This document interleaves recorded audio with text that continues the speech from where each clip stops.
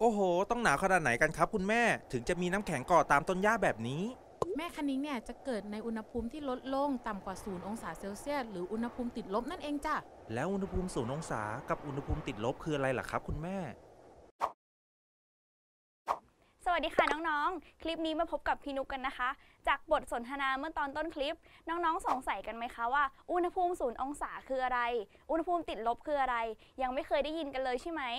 เดี๋ยวคลิปนี้พี่นุกจะพาน้องๆ ไปเรียนรู้กันในเรื่องของจำนวนเต็มค่ะ ไปดูพร้อม ๆ กันเลยค่ะ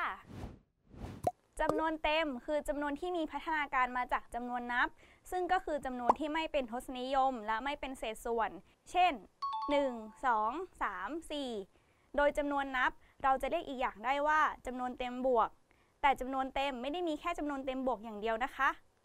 จำนวนเต็มจะแบ่งออกได้เป็น 3 ประเภท คือจำนวนเต็มบวกจำนวนเต็มศูนย์และจำนวนเต็มลบค่ะ น้องๆ ลองดูเส้นจำนวนตามพี่นุกนะคะ ถ้าเรามีเส้นจำนวน 1 เส้นจำนวนเต็มบวก คือจำนวนที่อยู่ทางขวาของศูนย์บนเส้นจำนวนจำนวนเต็มลบ คือจำนวนที่อยู่ทางซ้ายของศูนย์บนเส้นจำนวน โดยเส้นจำนวนจะมีกฎอยู่ว่าจำนวนที่อยู่ทางด้านซ้ายจะมีค่าน้อยกว่าจำนวนที่อยู่ทางขวาเสมอ ดังนั้นจำนวนเต็มลบจึงมีค่าน้อยกว่าจำนวนเต็มศูนย์และจำนวนเต็มศูนย์ก็มีค่าน้อยกว่าจำนวนเต็มบวกนั่นเองค่ะ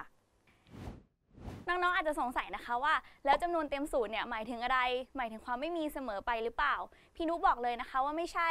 น้องๆคะศูนย์เนี่ยจะแสดงถึงความไม่มีได้ในบางกรณีเท่านั้น เช่น พี่นุกพูดว่าพี่นุกไม่มีสมุด พี่นุกจะไม่พูดว่าพี่นุกมีสมุดศูนย์เล่มนะคะ แต่ในเมื่อตอนต้นคลิปเนี่ยที่เราพูดถึงอุณหภูมิศูนย์องศา อันนี้ไม่ได้หมายความว่าเราไม่มีอุณหภูมิ แต่มันหมายถึงอุณหภูมิขนาดใดขนาดหนึ่ง โดยที่อุณหภูมินั้นวัดได้ที่ศูนย์องศานั่นเองค่ะส่วนจำนวนเต็มลบก็จะหมายถึงจำนวนเต็มที่มีค่าน้อยกว่าศูนย์นั่นเองค่ะน้องๆ ดังนั้นที่เราคุยกันเมื่อตอนต้นคลิปเนี่ยว่าแม่คณิ้งจะเกิดจากอุณหภูมิที่ลดลงต่ำกว่าศูนย์องศา ก็หมายถึงอุณหภูมิติดลบ หรือจะแปลได้ว่าอุณหภูมิที่มีค่าน้อยกว่าศูนย์องศานั่นเองค่ะ เอาละค่ะน้องๆ เรามาสรุปไปพร้อม ๆ กันดีกว่านะคะว่าจำนวนเต็มเนี่ยก็คือจำนวนที่ไม่มีเศษส่วน และไม่มีทศนิยมอยู่ในนั้น โดยจำนวนเต็มนะคะ จะแบ่งออกได้เป็น 3 ประเภท ก็คือจำนวนเต็มบวกจำนวนเต็มศูนย์และจำนวนเต็มลบนั่นเองค่ะ น้องๆ อย่าลืมกลับไปทบทวนและลองสังเกตกันดูนะคะว่า เราเจอจำนวนเต็มในชีวิตประจำวันอะไรกันบ้างสำหรับคลิปนี้ สวัสดีค่ะ